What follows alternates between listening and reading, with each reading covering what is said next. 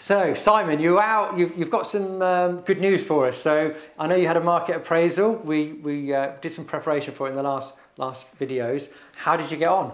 Yeah, I, I went out, delivered a magazine, and, and uh, essentially got the listing. Fantastic. Great news. Well done. So, you. you got the listing.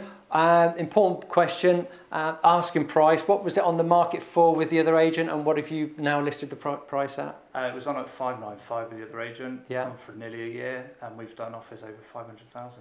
So it's offers over 500,000. That's that's good. It's a substantial um, difference in price. So obviously you're going to try and generate lots of interest. So what's the plan going forward to to get it sold? So I've done an intense social marketing campaign, social Yeah. media campaign with some great video, drone footage, Yeah. um, and looking to canvas folks in the area that Yeah. might be looking for that type of property. So lots of things going on for the next couple of weeks, and then we're going to follow that up at the end of the month with a, an open house. An open house, great strategy, and obviously create lots of interest, lots of viewings, and get lots of offers, and then force the price up. That's great. Um, one last question on that: what what fee are you charging, and what was the other agent charging? Uh, we're charging 2%, and Yeah. the original agent was charging 1%.